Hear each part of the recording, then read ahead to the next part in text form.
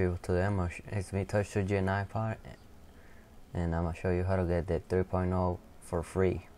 You can see I'm currently running on the 2.2.1 on the iPod Touch, second generation. Here it is. Volume rockers. They come. Yeah, let me show you that it's a 2.2.1 and I'm uh I don't have it in see it's 2.2.1 I'm not on the 3.0 like a, a lot of people make videos that they're on the 3.0 and they restore to the 3.0 not me I'm trying to do it from start.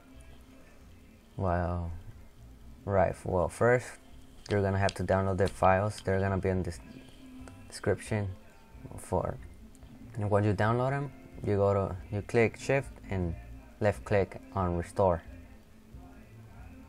So you go shift left click and then this this box is gonna come pop up and just go to the file you download on this for your iPod Touch, iPhone, or whatever you have, and download. links are gonna be in the description bar. Once you download them, press open.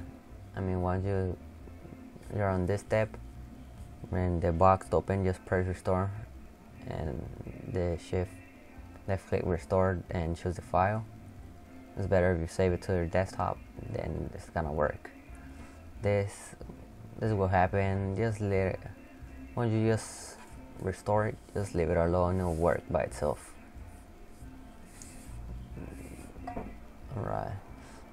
So here, if you're on Windows Vista, it might take longer because, um, well, my computer, the Windows Vista one, takes way longer.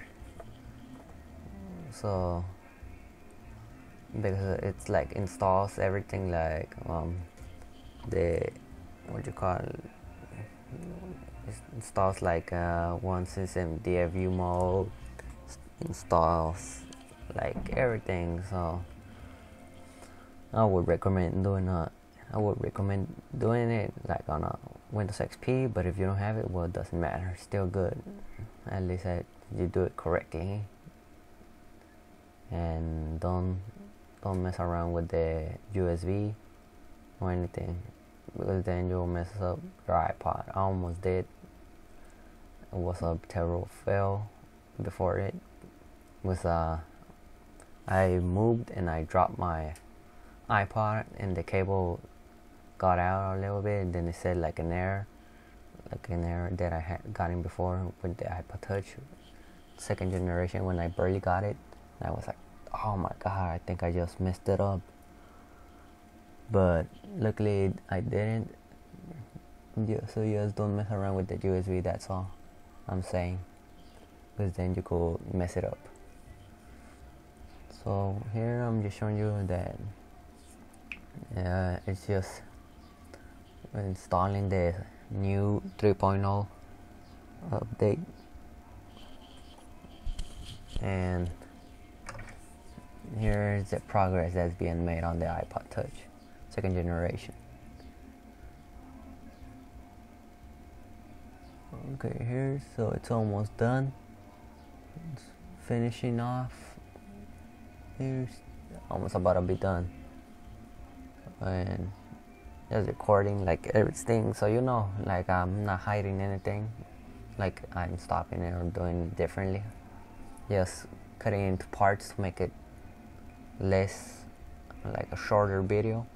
But I'm not cutting out like big parts. So here it's just it's just saying that the iPod has been restored successfully and press OK to continue here.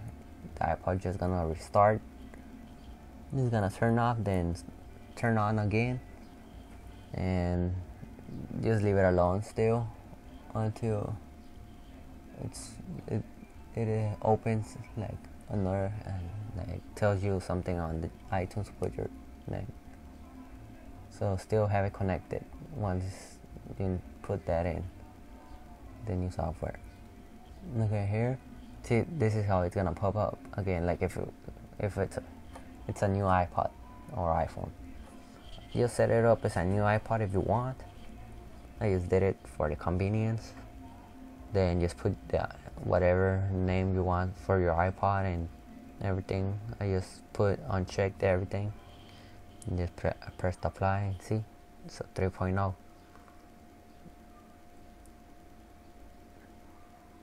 Sorry for the blur and, uh, and a lot of movement, but I was like trying to get it the best I could. See, this is a new feature that's on the 3.0. The backup. Then when you like what you have, just press apply. Like so, iTunes won't open when I connect the iPod Touch. That's I don't like it when it opens. Like sometimes I want to charge it. So here, as you can see, it's new with the voice memo and everything switched around like on the 3.0 so yeah this is not a lie. I'm gonna show you that this is i'm currently running on the 3.0 now. Here it is. Version 3.0 so i hope you liked it you learned something and please rate comment and don't forget to subscribe. It helps me out a lot. Thanks